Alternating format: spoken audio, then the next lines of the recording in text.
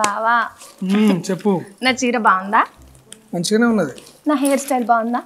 దానికేమే మంచిగా ఉన్నది. మరి అది నీ షర్ట్ కూడా బాగుంది. గోకినావా? చెప్పి ఏం కావాలి అది. మనం గేట్ కమ్యూనిటీకి పోదాం.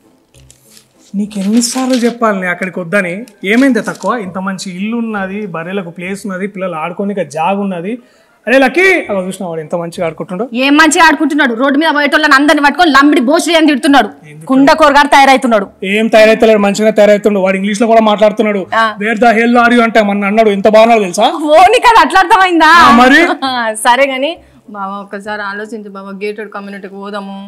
కూరగాయల భవిష్యత్తు మంచిగా ఉంటది. మనం కూడా మస్తు హై క్లాస్ ఉండొచ్చు. అమ్మ సంతోషంగా ఈడనే ఉన్నది. నువ్వు ఇంకోసారి గేట్ కమ్యూనిటీ తొక్కల కమ్యూనిటీ అంటే పూల పెడతాను అరే అరే అరే! బాబా ఛీ!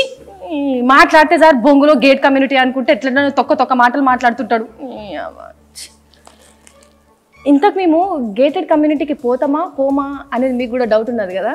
తెలవాలంటే డిస్నీ ప్లస్ హాట్స్టార్లో సేవ్ ద టైగర్స్ రిలీజ్ అయింది. తప్పకుండా చూడండి